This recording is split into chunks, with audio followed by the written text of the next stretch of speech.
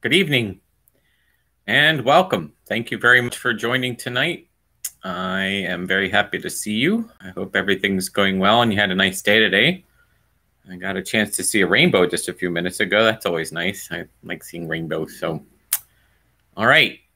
Good evening. So, it's a little early, but we have a lot of people here. So, why don't we just get started? All right. In the name of the Father and of the Son and of the Holy Spirit, one God. Amen. Glory to thee, our God, glory to thee. O heavenly King, O Comforter, the Spirit of truth, who are in all places and fillest all things. Treasure blessings and the giver of life, come and abide in us, cleanse us from every stain, and save our souls, O gracious Lord. Holy God, holy mighty, holy immortal, have mercy on us. Holy God, holy mighty, holy immortal, have mercy on us. Holy God, holy mighty, holy immortal, have mercy on us. Glory to the Father, and to the Son, and to the Holy Spirit, now and ever, and unto ages of ages. Amen. O Holy Trinity, have mercy on us. Lord, cleanse us from our sins. Master, pardon our iniquities. Holy God, visit and heal our infirmities for thy name's sake. Lord have mercy, Lord have mercy, Lord have mercy. Glory to the Father, and to the Son, and to the Holy Spirit, now and ever, and unto ages of ages. Amen. Our Father, who art in heaven, hallowed be thy name. Thy kingdom come, thy will be done on earth as it is in heaven. Give us this day our daily bread, and forgive us our trespasses as we forgive those who trespass against us and lead us not into temptation, but deliver us from evil. For thine is the kingdom, and the power, and the glory of the Father, and of the Son, and of the Holy Spirit, now and ever, and unto ages of ages. Amen. All right, so good evening, everybody. Thank you very much for joining me tonight. As always, I don't have any um, special questions that um, have been asked at this point. So if you do have any questions, please feel free to put them in the live chat, or you can uh, email or, well, preferably text me um, those questions. But uh, since I don't have any questions this morning, we're going to plow on ahead with the Gospel of Mark. Let me open this drawer so that I can just put the Bible right in front of me. One second. And there we go. Okay, so we are in the Gospel of Mark. We are very close to the conclusion of the Gospel of Mark. We have gone through a number of things. I think we did talk about his crucifixion, but I think we'll revisit that because it's one of the most important things that we have in our Christian faith. Okay, and like I said, if you do have any questions, I would love to have um, some questions, so I'll be more than happy to answer anything you might have. Okay, all right.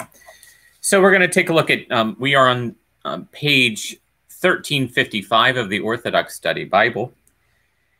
We are in Mark 15, chapter 15, verse 21. Okay, so here we go. Then they compelled a certain man, Simon, a Cyrenian, the father of Alexander and Rufus, as he was coming out of the country and passing by, to bear his cross. And they brought him to a place, to the place Golgotha, which is translated place of a skull.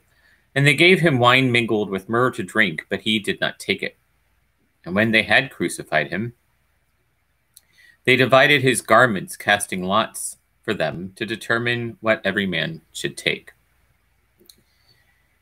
Now it was about the third hour when they crucified him, and the inscription of his accusation was written above, saying, The King of the Jews. With him they crucified two robbers, one on his right and the other on his left. And the scripture was fulfilled, which says, And he was numbered with the transgressors. And those who passed by blasphemed him, wagging their heads and saying, Aha, you who would destroy the temple and build it in three days, save yourself and come down from the cross.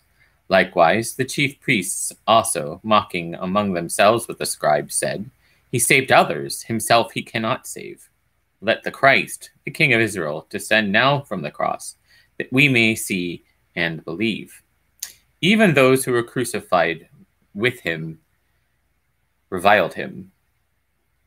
Okay, so I want to talk a little bit about something, but I need a prop, and I don't know if I have a prop.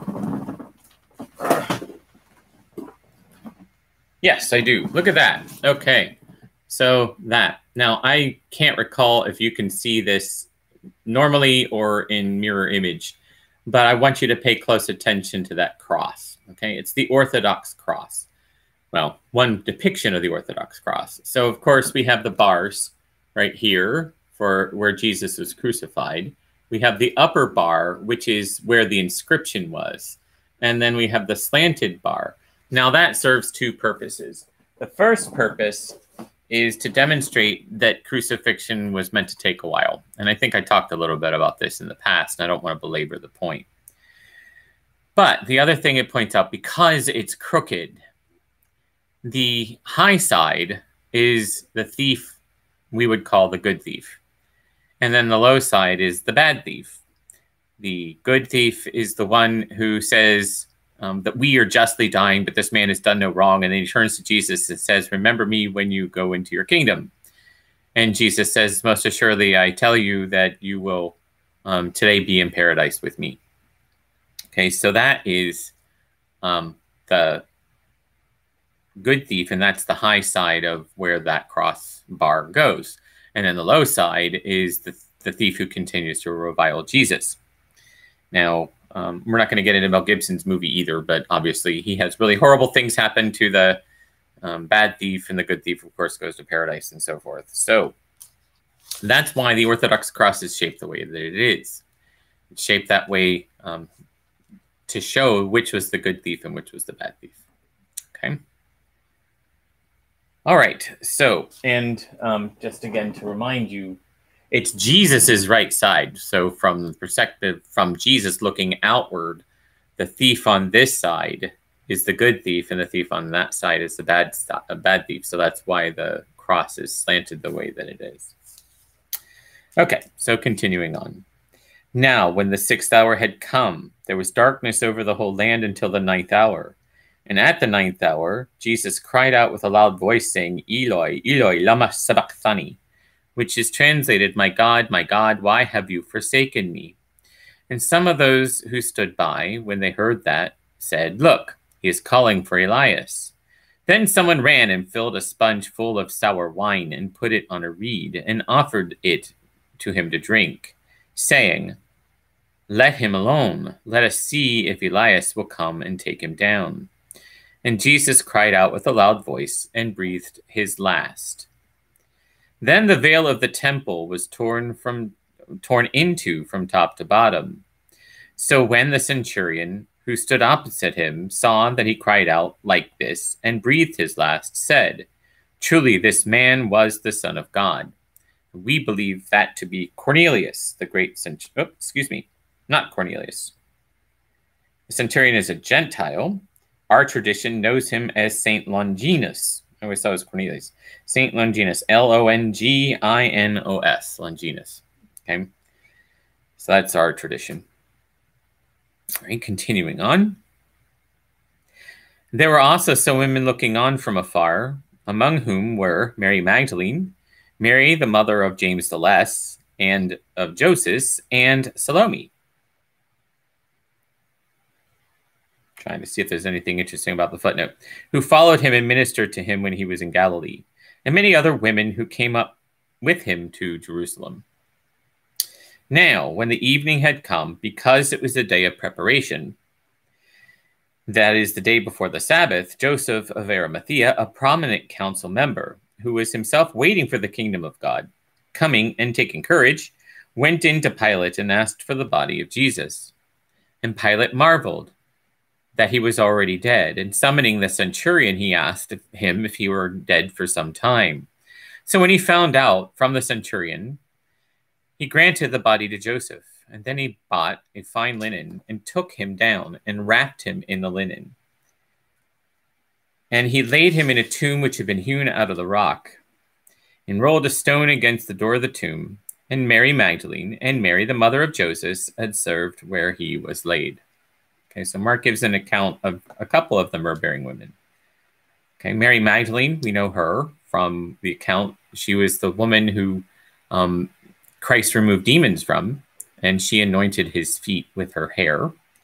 We also know um, James the Less is one of the disciples. There are three Jameses in New Testament accounting, or probably more than that, but the three major ones was James, the brother of our Lord, who actually was never a disciple.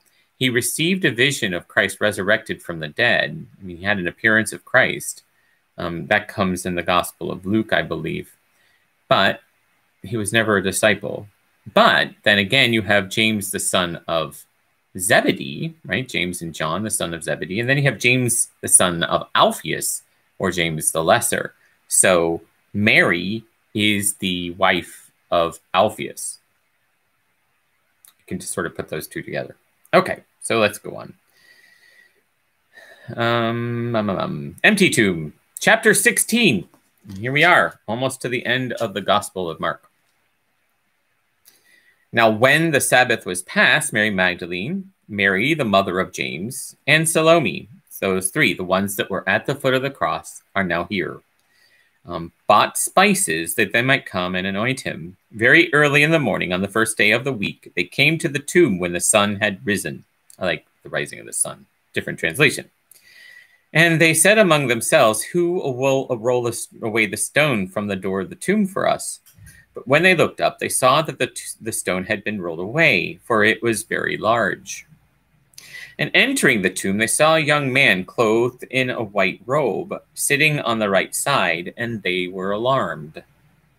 But he said to them, Do not be alarmed. You seek Jesus of Nazareth, who is crucified. He is risen. He is not here.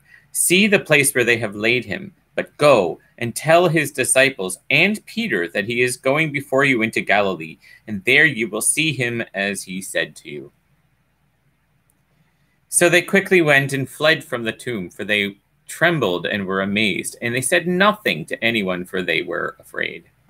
Now, this particular reading is the reading that we do in the Orthodox Church when we are outside during Pascha.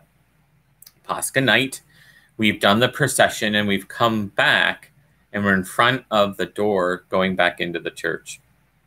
And we read a gospel. This is it. It's also known as the second Eothinon, which is um, one of 11 readings that are done during the service of great matins.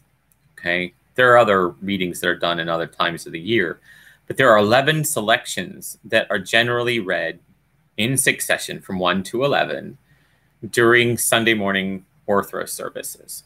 Okay. And that reading is a resurrectional reading. So, for example, we have this one, which is the second one, not the first one, but the second one.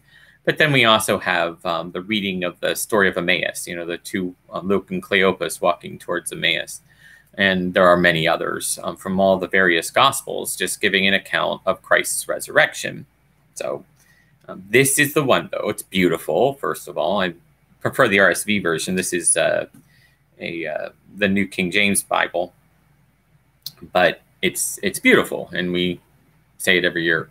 Even this year, we said it, even though we couldn't go outside, and uh, although it was me and two subdeacons. God willing, next year will be different, inshallah. Okay, so continuing on. So now we've already had the reading of the Eothinon. So here's the next thing. Now, when he rose early on the first day of the week, he appeared first to Mary Magdalene, out of whom he had cast seven demons. Hmm, I just said that. He went and told those who had been with, she went and told those who had been with him as they mourned and wept. And when they heard that he was alive and had been seen by her, they did not believe. After that, he appeared in another form to two of them as they walked and went into the country. Ha ha! Luke and Cleopas. And they went and told it to the rest, but they did not believe them either. Later, he appeared to the eleven as they sat at table, and he rebuked their unbelief and hardness of heart, because they did not believe those who had seen him after he had risen. And he said to them, Go into all the world and preach the gospel to every creature, not just people, by the way, every creature. He who believes and is baptized will be saved, but he who does not believe will be condemned. And these signs will follow those who believe. In my name, they will cast out demons. They will speak in new tongues. They will take up serpents, and if they drink anything deadly, it will by no means hurt them. They will lay hands on the sick, and they will recover. So then, after the Lord had spoken to them, he was received up into heaven and sat down at the right hand of God. And they went out and preached everywhere, the Lord working with them and confirming the word through the accompanying signs. Amen. So that's it for the Gospel of Mark. Interesting things about that. And we saw the Luke and Cleopas thing.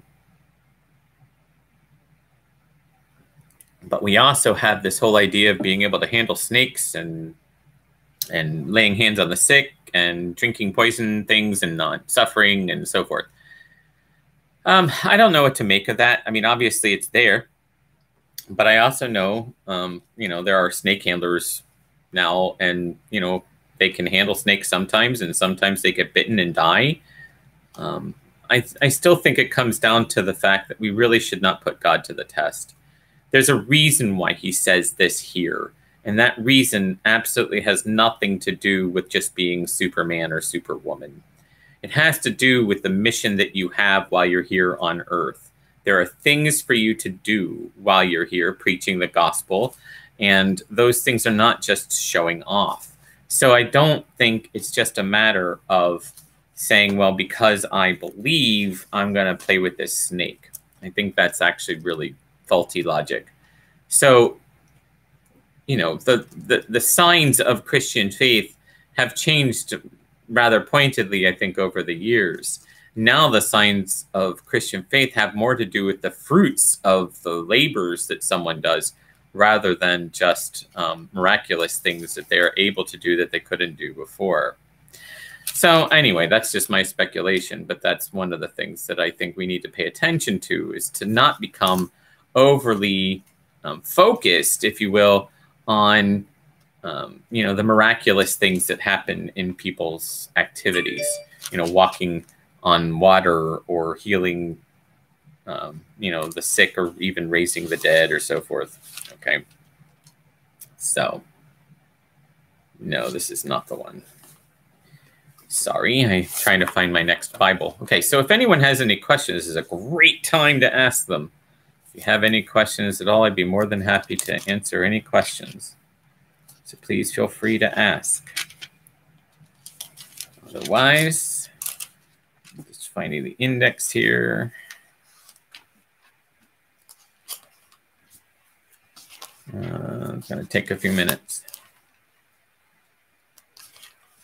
I don't really care about that. Hold on one second. Sorry. Okay, there we go. Now we're looking for. Okay. All right.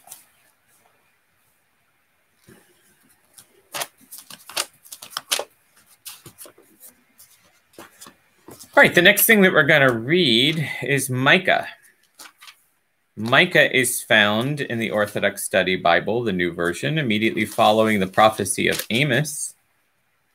And it is found on page 1004. Okay, so you can look along with me. Again, the prophecy of Micah. So let's talk a little bit about its background. I'm just again reading from the Orthodox Study Bible. Don't be overly impressed. This isn't from memory or anything.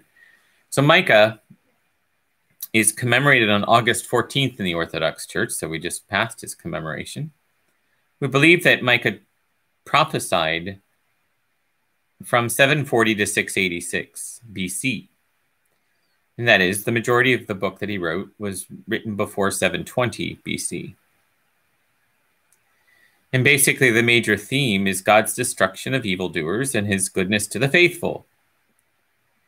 It says, in the midst of a very dark time, Micah delivers the messianic prophecies of hope and deliverance for the faithful remnant. We'll talk about that in a second. He foretells the new covenant, the incarnation, Christ's birth at Bethlehem, Christ's suffering and the church and its persecutions, conversion of the Gentiles, and a time of peace. Faithful remnant, that's an important phrase. The faithful remnant is a collection of people who continued to hold on to the faith even though the people around them weren't holding on to the faith.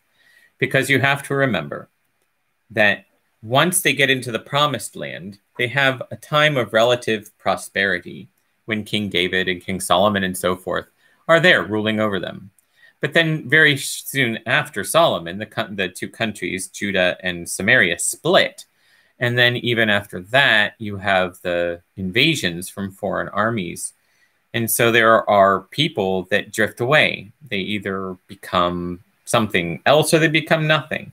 But there are also those who remain faithful. And that's what we mean by the faithful remnant a small but devout group of people, some exiled, but mostly the ones that just sit there and hold vigil really for the return of temple practices. So that's the faithful remnant. All right. Continuing with the background of Micah. The prophet Micah prophesied during a time of spiritual and moral decadence in the midst of great affluence throughout the northern and southern kingdoms. So that's both Israel and Judah. Because, and this is important for us to know too Israel and Judah, after the schism, Israel and Judah are two separate, basically, countries. They are against each other. Okay, sounds weird, but it, it really is almost immediately after the construction of the temple that those two great countries become separate entities. You still see glimpses of that when you get into the New Testament. You have Jesus visiting Jacob's well with the woman, the Samaritan woman. Okay, she comes from the northern kingdom, not the southern kingdom, which is Judah, which becomes Judea. Okay, all right. So anyway, um, he witnessed the adoption of idolatry of the Canaanites by Samaria and Judah, so both kingdoms. Micah was born the son of Joram from the tribe of Ephraim. He prophesied to both kingdoms. Micah was known as the prophet of the poor and the herald prophet. His contemporaries were, his contemporary prophets were Isaiah, Amos, and Hosea. Okay, and over time, we'll take a look at all of that. Okay, and so, like I said, if you have any questions, just let me know. But um, without questions, I'm just going to forge ahead. Okay, so we are in Micah again, page 1005. The word of the Lord came to Micah of Moresheth in the days of Jotham and Ahaz and Hezekiah, the kings of Judah, concerning what he saw as it relates to Samaria and Jerusalem. Hear these words, O people. Give hear, heed, O earth, and all that is in it. For the Lord God shall be among you for a witness against you, the Lord from his holy house. For behold, the Lord is coming out of his place. He will come down and tread upon the high places of the earth. The mountains will shake under him, and the valleys will melt like wax before the fire like water pouring down a steep incline. All of this is for the transgression of Jacob and the sin of the house of Israel. What is the transgression of Jacob? Is it not Samaria? And what is the sin of the house of Judah? Is it not Jerusalem? I will make Samaria become like a shed in the field and a vineyard for planting and I will tear down her stones in confusion and expose her foundations. And they shall cut all of her carved images into pieces and burn down all of her houses of prostitution with fire. And I shall utterly destroy all her idols, for she gathers from the price of prostitution and has accumulated from the price of a harlot. Let's take a look at that real quick.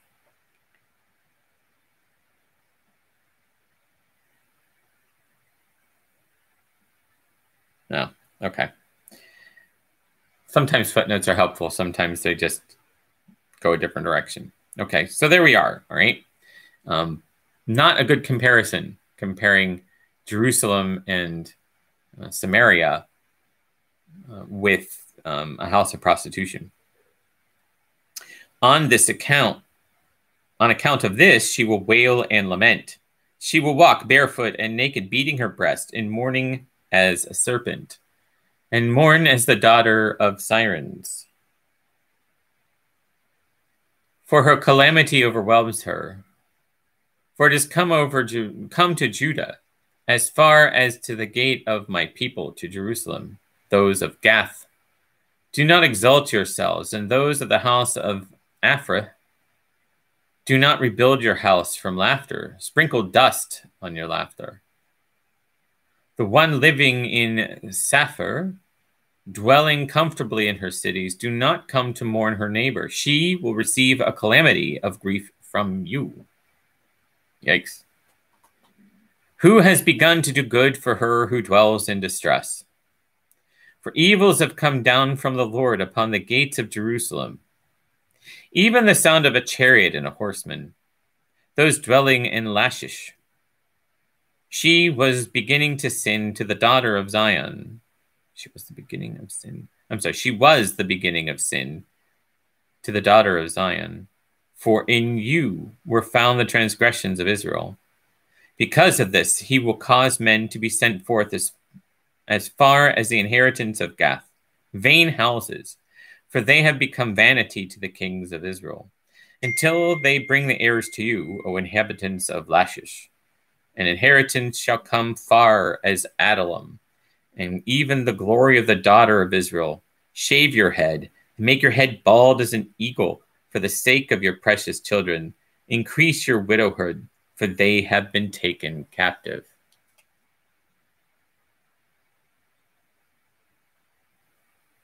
Okay, so we're going to stop right there for a second because we are now at chapter two and I have a question. So I will answer the question. All right, the question is Do prophets exist today or were they only just prior to Christ's coming? That is a great question, and it is a question that does not have a very definitive answer. There is a tradition within Orthodoxy that states that everything before Christ was of, of prophet and everything after Christ was an apostle. They are considered two separate ranks. But um, according to our tradition, John, the forerunner, the one who baptized our Lord, is the very last of the prophets. Now, there are still those who speak prophecy, but there's difference between being one who speaks prophecy and one who is a prophet. Now, prophecy, I'll explain that in a second, but um, just to be, well, to try to be clear, obviously Micah is a prophet because he comes before. But John is the conclusion of the prophets, and then everything after that is considered someone who is an apostle. Okay, someone who is sent out to go and preach the gospel because the prophets themselves were sent out to go and give the message of the Lord to his people. They didn't just stay in a place and just start to talk. God commanded them to go to different places and go and, and give this oracle to somebody. Okay, so apostles and prophets are seen roughly as parallel or equal to one another. But there is clearly, just to go on the other side, there's clearly in the New Testament indications that there are people who are prophesying, okay, that are telling the word of the Lord. And so, you know, it, it, there's no good answer there. Um, but basically, we teach that they're on the one side, they're prophets, and the other side, they are apostles. There was something else I wanted to say. That a prophet generally gets this kind of um, divine message that he is to impart. It basically like um, the word of the Lord came to Micah, right? The Lord um, gave him this word and compelled him to go and make this word known to everyone else. Something about prophecy. Prophecy is not foretelling the future. That is soothsaying or something like that. What prophecy is is giving the word of the Lord to the people that are supposed to hear it. Okay, so um, Jonah says to Nineveh, you better behave or God's going to obliterate you. Okay. That is not a prophecy. That is an oracle from God saying, look, shape up or you're gone. So, you know, we have to sort of think about that. When we talk about someone being prophetic today, we tend to think that they're being able to tell the future. It's it's not like that. It's it's it's speaking the words that God imparted and and doing it faithfully and correctly. That's what prophecy is all about. Okay, I just want to be clear on that. Okay, um, again, feel free to ask questions. Thank you for that question, and we will continue. All right, we are now in chapter two of Micah. Okay, they devised, okay, the sins of Judah is the caption. Chapter 2, page 1005. They devised wickedness and were scheming evil upon their beds. And at daybreak, they put their plan into action, for they did not lift up their hands to God. Not good. They coveted fields and plundered orphans. They oppressed families and plundered a man and his house, a man and his inheritance. Therefore, says the Lord, Behold, I am devising evils against this tribe, from which you shall not lift up your neck, nor will you suddenly walk upright, for this is a time of evil. In that day, a parable shall be taken up against you, and a dirge will be wailed, saying, In misery we have suffered hardship. The portion of my people has been measured out with a measuring line and there was no one who was able to stop him. Our fields have been divided among them. Therefore, there will be no one to put out a measuring line for a lot for you in the assembly of the Lord. Okay, so bad news.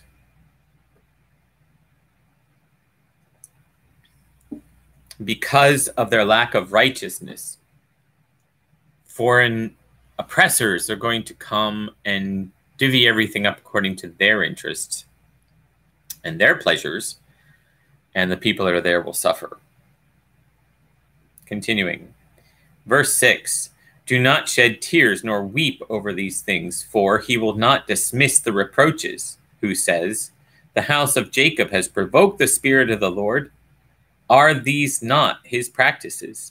Are these not his word? Are, his, are not his words good with him? And have they not proceeded as predicted? And previously, for enmity my people resisted against his peace. They flayed his skin to remove hope in the ravages of war. Therefore, those leading my people will be cast out from their luxurious homes. They have been driven out because of their wicked practices. Draw near to the everlasting mountains. And this is how oracles generally work. Because of your lack of righteousness, everything that you have will be taken from you and given to somebody else. But it doesn't stop there. It's not just the punishment, there's always this little flicker of what can be done in order to prevent these kinds of judgments from happening. So, that last sentence draw near to the everlasting mountains. It's your opportunity to save yourself if you choose to do so. However, it's up to you. If you choose to continue the path that you're following now, you do so at your own peril and you will likely suffer because of it. All right, chapter 2, verse 12 Jacob will be completely gathered together with all of them. I shall wait, expecting the remnant of Israel. By him I will cause their return as sheep in trouble, as a flock in the midst of their fold. From the breach made before them, they will rush out from among their captors. They will break through the gate of captivity, and their king comes out before their presence, and the Lord shall lead them. What's being spoken of here is a reunification of Judah and Samaria. Okay, but this is in his vision, this is in his design or his wish. Okay, that that the, in the future, Jacob, which is the southern kingdom, will be completely gathered together with them, and I shall be waiting, expecting the remnant of Israel, which is the northern kingdom. By him I will cause the return as sheep in trouble. So the sheep, you know, when the sheep go off and do their own thing, then, um, but they suffer kind, kind, they suffer hardships or they get attacked, then they come running back. Okay, that's what he's saying. Um, I will cause the return of their sheep in trouble as a flock in the midst of their fold. Okay. All right. And again, if you have any questions, please feel free to let me know. Chapter 3, page 1006. He will say, Hear these things, O heads of the house of Jacob, and you remnant of Israel. Is it not for you to know judgment? You who hate good and love evil, you who seize their skins in order to flay them and to cut their flesh off their bones, who devour the flesh of my people by removing their skin, breaking their bones, and dividing them as merely flesh for the cauldron and as for meat for the pot. Oh, that's horrible. Thus they will cry out to the Lord, but he will not hear them.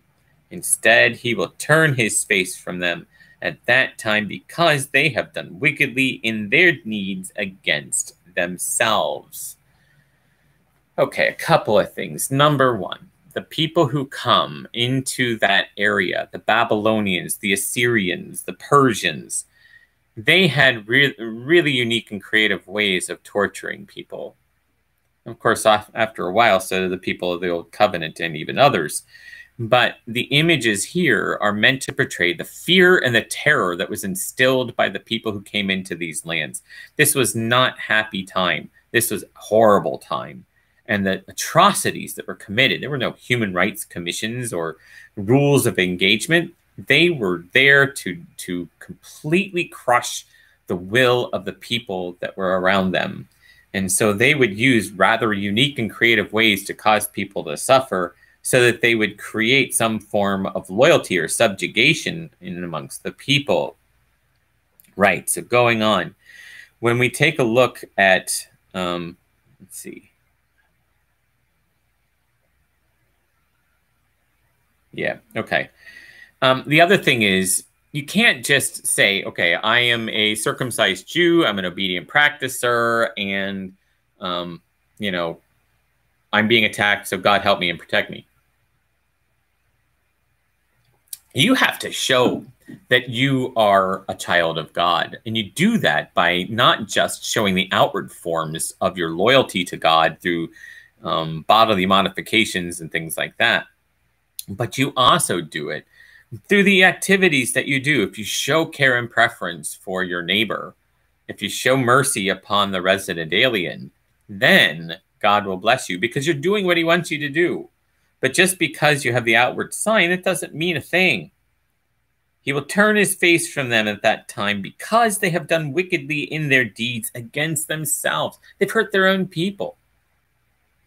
And another point there is that we have to remember the salvation. We, we talk about our own lives and the things that we have done and how you know we'll be judged on the account of our activities and so forth. But we are judged corporately too. Have we fulfilled as a body the expectations that God has presented to us. If we haven't, well, we have work to do. Okay? Because when we hurt somebody, we're hurting our own body, hurting ourselves. All right, so that's verse 4. Verse 5 of chapter 3. Thus says the Lord concerning the prophets who lead my people astray, who are proclaiming peace upon them while they themselves ate, but who, when nothing was put in their mouths, stirred up war against them.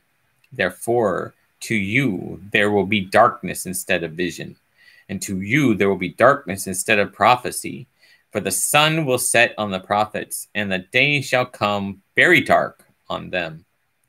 And the seers of dreams will be put to shame, and the prophets will be laughed and laughed to scorn.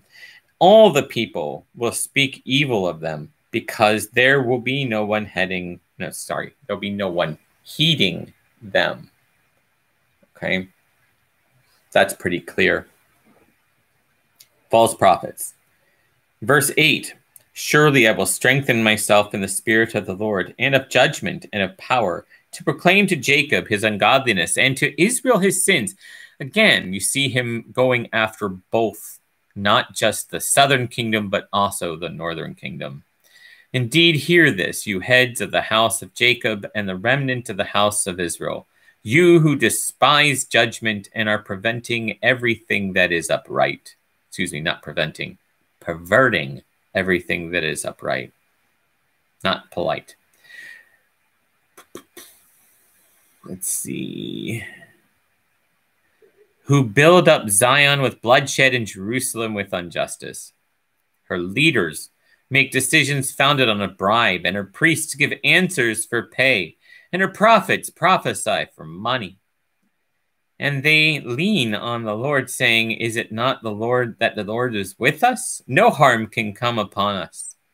Therefore, on account of you, Zion shall be plowed as a field, Jerusalem shall be shed in the field, and the mountain or the house as a grove of trees. Brutal, Absolutely brutal. All right, so that's it for chapter three. And again, like I said, if you have any questions, please let me know. Verse or chapter four. And it shall come to pass in the last days that the mountain of the Lord will be revealed. It will be raised up on the top of the mountains, and it will be exalted far above the hills, and peoples will hasten to it. And many nations will go there and say, Come, let us go up into the mountain of the Lord to the house of God of Jacob, and they will teach us his ways, and we will walk in his paths. That sounds hauntingly familiar. No, not mentioned anywhere. Okay, continuing on. And the word of the Lord from Jerusalem, and he will judge between many peoples and rebuke strong nations afar off. They will beat their swords into plowshares and their spears into shields. Sickles, excuse me, sickles, not shields, sickles. Pruning hooks nation shall no more lift up sword against nation, neither shall they learn war any more. But everyone shall rest, shall be at rest under his own vine and under his own fig tree. And no one shall make them afraid, for the mouth of the Lord Almighty has spoken these things. All the people shall walk, each one to his own way, and we will walk in the name of the Lord our God forever and ever very powerful. Okay, and this is one of those great verses that's like found all over the place in modern writing. What are they talking about here? They are talking about a time that will come when the Lord reigns. The people of, uh, of faith that belong to him, his faithful remnant, will do the things that he expects them to do. They will be bearers of fruit. They will keep his commandments.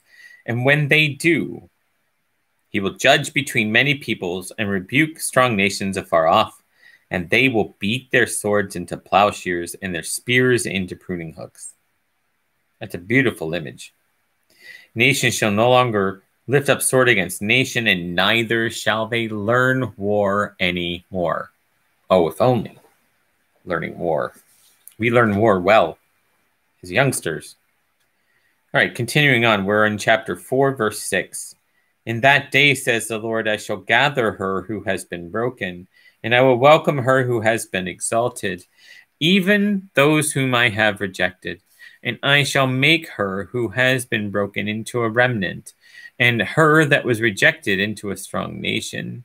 So the Lord will reign over, sorry, over them in Mount Zion, henceforth and forever. And you, O daughter of Zion, dark to enter in, even the former kingdom. I'm sorry, try that again. And you, O daughter of Zion, dark, dark tower of the flock, on you will come, on you it will come and enter in, even the former kingdom of Babylon to the daughter of Jerusalem. And now, why have you experienced such evils? Was there no king in your midst, or did your counsel perish? For your birth pangs have seized you as one in labor Suffer birth pains and take courage, O daughter of Zion, and draw near like a woman giving birth. For now you will be exiled from the city, and you will not abide in that flat open country, and you will come as far off as Babylon. And from that place the Lord your God shall redeem you from the hand of your enemies. Now many nations have gathered against you, saying, We will rejoice, and our eyes will gaze upon Zion. But they do not know the thoughts of the Lord, nor perceive his counsel, for he has gathered them like sheaves on the threshing floor. Okay, threshing floor is where you separate the bad parts of a, of a stalk from the fruit, like wheat. You get the wheat berries on a threshing floor. Um, you make flour and things like that in the same way but it's a process that mimics a whipping kind of a thing. It's it's um, and so their images. It's like a double image. One is a good image. The other is not a good image. Okay. Arise then and thresh them, O daughter of Zion, for I shall make your hearts, or sorry, make your horns iron, and I will make your hooves bronze, and you will cause the nations to melt away, and you will winnow many peoples and you will dedicate their abundance to the Lord and their strength to the Lord of all the earth. Now, the daughter of Ephraim, the blockaded will be blockaded by a siege wall, for he ordered affliction against us, and they shall smite the tribes of Israel with a rod upon the cheek. Right? Pretty clear. Right, chapter 5. And you, O Bethlehem, house of Ephrathah, though you are fewest in number among the thousands of Judah, yet out of you shall come forth to me as the one to be the ruler of Israel. His goings forth were from the beginning, even from everlasting. Therefore he shall give them up until the appointed time for her to give birth. Then the remnant of their brothers will return with the sons of Israel, and he shall stand and see, and the shepherd of his flock in it the strength. I'm sorry, and he shall stand and see and shepherd his flock in the strength of the Lord. And they will dwell in the glory of the name of the Lord their God. For now they shall be magnified unto the ends of the earth, and she will have peace. For when the Assyrian comes into our land and goes up into our country, even seven shepherds and eight attacks from men will be raised up against them.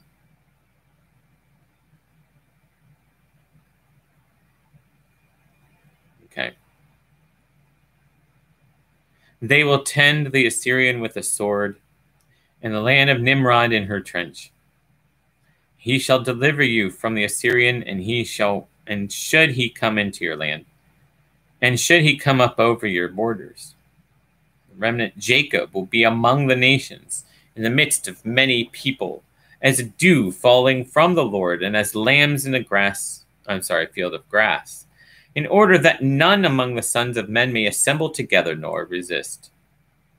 And the remnant of Job will be amongst the nations, in the midst of many peoples, as a lion among the cattle in the forest, as a young lion among the flock of the sheep, which, whenever it passes through, seizes and carries off its prey, and there is none to rescue. But by your hand but your hand will be exalted above those oppressing you, and all your enemies will be completely cut off. Okay, I'm going to continue. And it shall come to pass on that day, says the Lord, that I shall utterly destroy your horses from your midst and destroy your chariots. And I shall utterly destroy the cities of your land and demolish all your strongholds. And I shall drive away your sorceries out of your hands, and there shall be no soothsayers among you. I shall utterly destroy your carved images and the sacred pillars in your midst, and you will no longer worship the work of your hands.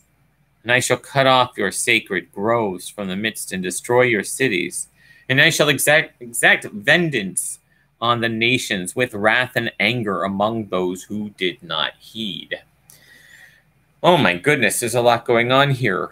But basically, what he's saying in different words and in different connotations. One second.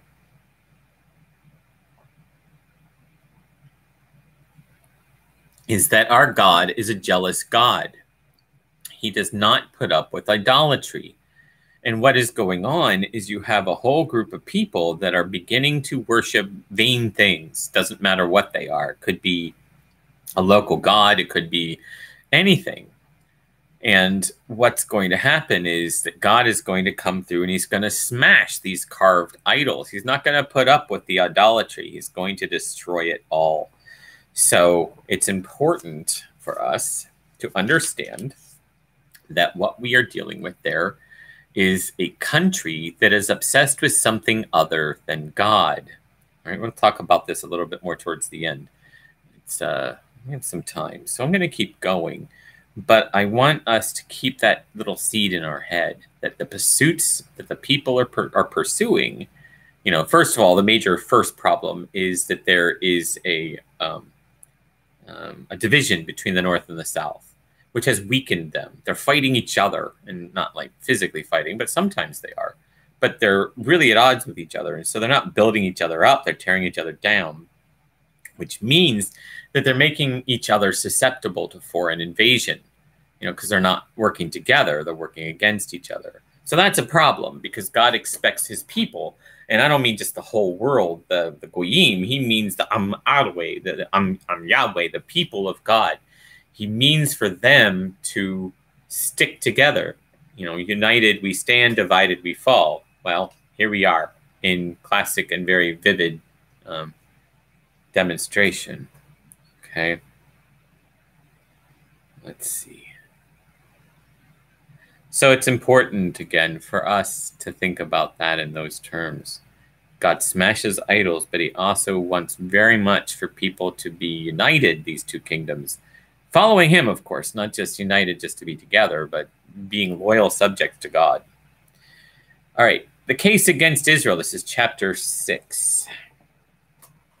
Now hear the word of the Lord, the Lord says Arise, plead your case before the mountains, and let the hills hear your voice. Hear, O mountains, the judgment of the Lord, and you valleys, its foundations of the earth. For the Lord has a case against his people, and he will contend with Israel. My people, what have I done to you? O my people, what have I done to you? How have I grieved you? Answer me.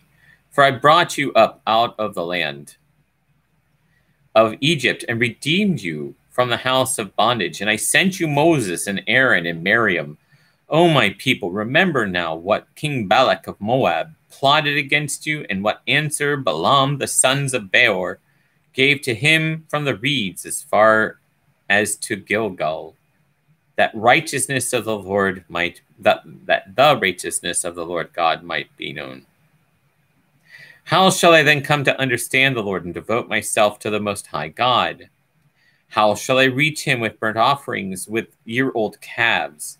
Will the Lord be pleased with thousands of rams, or with a myriad of streams of oil? Shall I give my firstborn for my ungodliness, the fruit of my own body for the sin of my soul?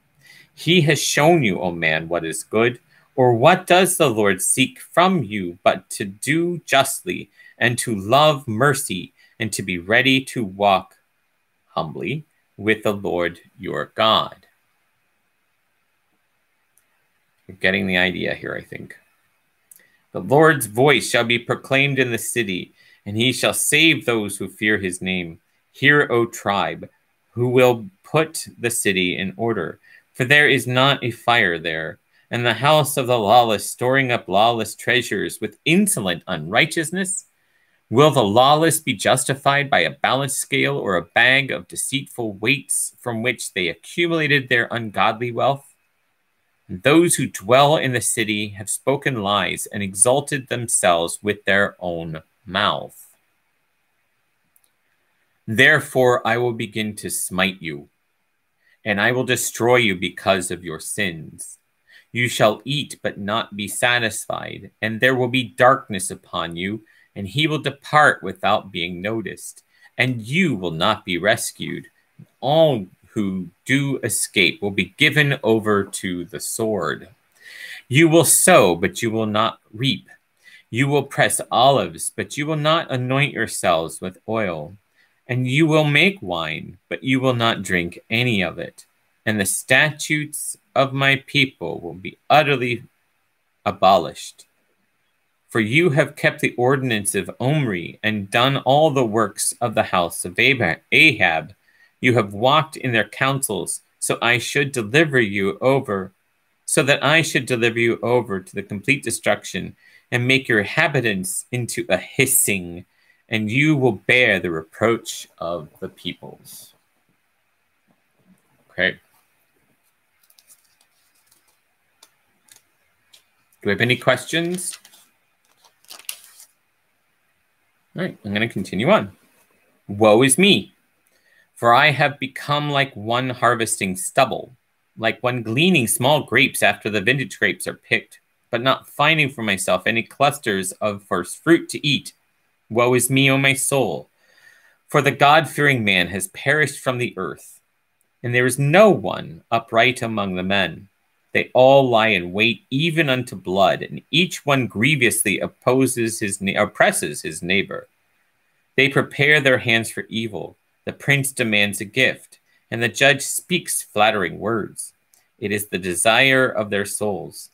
Thus I shall take away their good things as the moth who eats away, and the one preceding by the rule of the day of the watch. Alas, alas, for the time of your vengeance is come.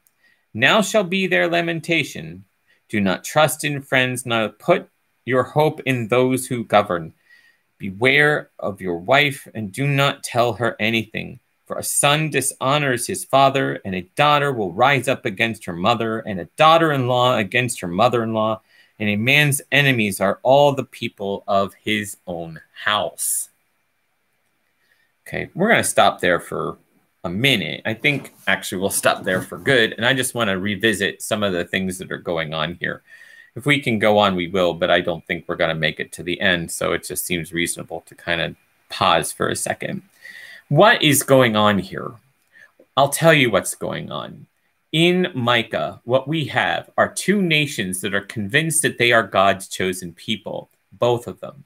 They think that because they have some kind of national identity, they can go about and do whatever it is that they want because God is on their side. They feel that they are righteous compared to everyone else, the nations, even each other. And they don't even care for the least of their own citizenry. They like their, their poshness, they like their affluence, they seek after wealth, and they already have wealth. So they're building wealth upon wealth upon wealth. And not only that, but they are also looking for ways to increase their wealth by going after small little countries around them and taking all their stuff. So, what's ending up happening is that the leadership is corrupt and the people themselves, not the remnant, but the people themselves are turning to idols and they're doing things that are completely and totally displeasing to God. I've already spoken about how the split of the kingdom was a big problem. But even once they split the kingdom, neither side is really doing anything other than seeking its own enrichment, its own material success. So, what Micah is saying is that God is going to do really horrible things to them and he's going to do it in justice because they themselves are showing no justice to anybody else. So what's going to happen is these foreign powers are going to come in and they're going to do all these horrible things like we've already described. The foreign powers will come and they will drive the people into utter desolation. They'll some will be exiled, some will be put to death, some will be enslaved. I mean, all these different things will happen and the rulers themselves, um, especially the, the major rulers, they'll be put to death and their families sold into slavery. It's a very ugly issue, you know, very ugly image. And we sit here and say, well, how can God do this? Well, I mean, the problem is that people have chosen to betray God through their activities, through the things that they have chosen to do.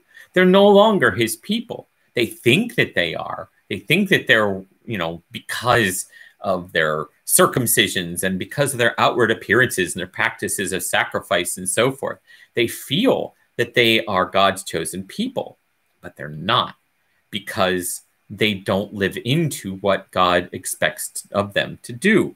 What is it that they expect? What does the Lord seek from you? It says again in Micah chapter 6, verse 8. What is he saying? Do justly, love mercy, and be ready to walk with the Lord your God. Okay, let me see. Excuse me one second. Uh, if I can reach this without making it fall on the ground. Another Bible. I want to find that translation here. By the way, this book that I have in my hand, the New Oxford Annotated Bible, Revised Standard Edition, this has a version of the Revised Standard that was finished in 1973 and is probably the best Bible in English that's out there. Okay, so I highly recommend this. It's still available in print.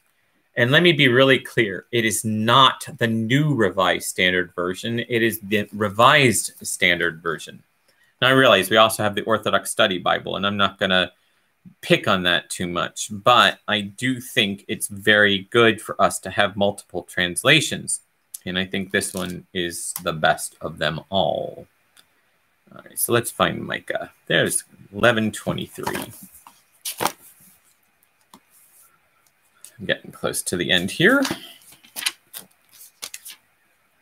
1123. Oops. Oh, 1123. Duh, my 1023. Sorry.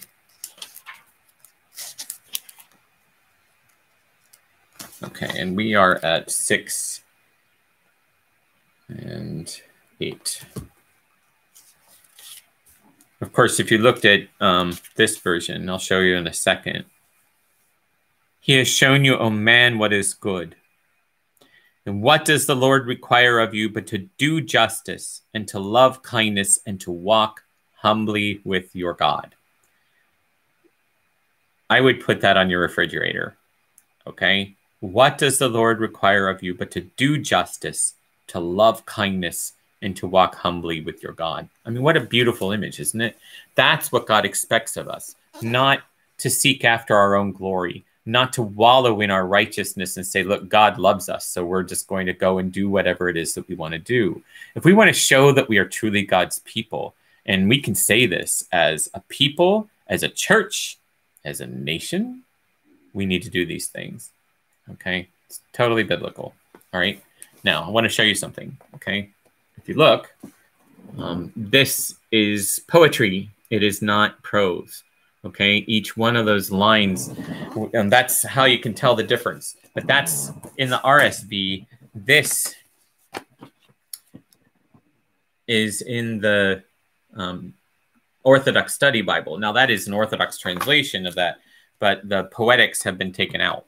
Okay, and there are reasons for it. One of them is the difference between Greek and Hebrew, but it's it's still important to know that there is a poetic aspect to all of this in the original Hebrew, and it's worth looking at. Okay, so um, so you get the gist of what's going on here. Okay, a nation that is convinced of its own righteousness okay, because they consider themselves God's chosen people. And God is speaking to the prophet Micah and saying, You need to tell these people who think that they are God's chosen people that all sorts of grief is coming their way because they think they are, but they are not. Okay? And that's when you get the swords will be beaten into plowshares and spears into pruning hooks and um, and nation shall not lift sword against nation, and neither shall they learn war anymore. All of those kinds of things are part of what is truly a nation that is embracing what God wants them to do. It is not a country that wallows or revels in military superiority. It is not a country that thinks it is right because it wins all its battles because the battles that we're fighting, it was fighting, were pitched battles. Okay? And yes, I am intentionally making a parallel between then and now. Okay? These are things that we always must be mindful of.